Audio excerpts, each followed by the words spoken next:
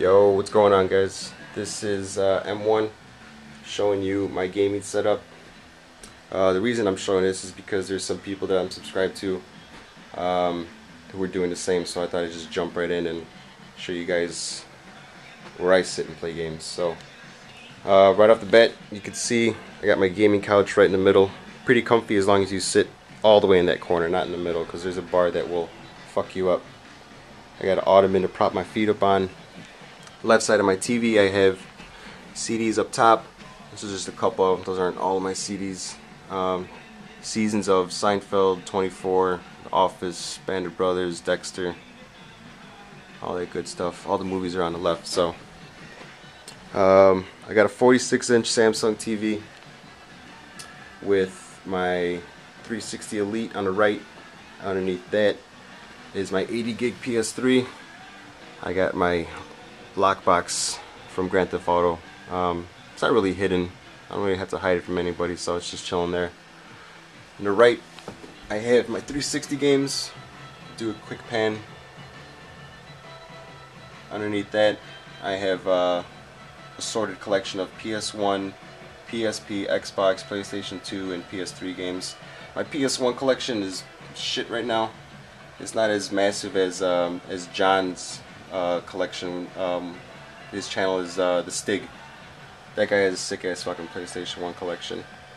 Uh, underneath that, I got my Blu-rays. Uh, two shit games for the 360 that I don't even play. Sneak King, which Burger King had put out. Uh, Final Fantasy. These two games I'm not talking about. I got Assassin's Creed, World of Warcraft chilling there. I mean, World of Warcraft. World at War chilling there. Got a monster chilling there. It should have been thrown away about a few days ago. Over here, I got a standard definition TV specifically for the PS2. Because if you put the PS2 on this beast over here, the the quality of the graphics is seriously just degraded and it looks like shit. So um, that's what this TV over here is for. Underneath the PS2 Slim, I have Prey to act as um, as a coaster, I guess, because Prey's a shit game. Shouldn't be put in your 360. So if you have that 10 co uh, collector's edition, just prop your PS2 up on there, and you don't got to worry about it overheating on the rug. And in this corner, I have my uh, Toshiba laptop, which is where I do all the editing uh, for my videos. I bought this keyboard specifically for World of Warcraft.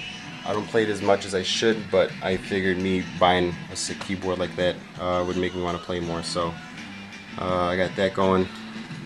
Over here I got my drums for the for Guitar Hero, a couple of guitars, and that's about it.